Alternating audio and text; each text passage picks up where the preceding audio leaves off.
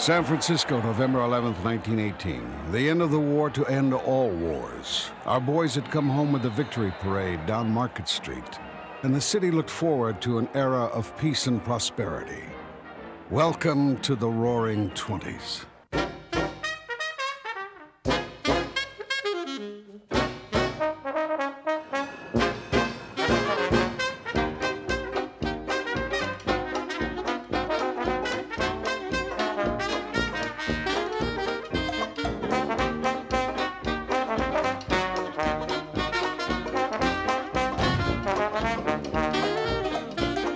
The 20s, when hemlines got higher, morals got lower, and the party never stopped. At least that's the way we usually remember America's wildest decade.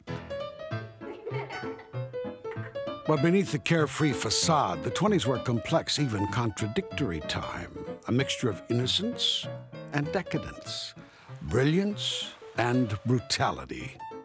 And nowhere were these extremes any more in evidence than San Francisco.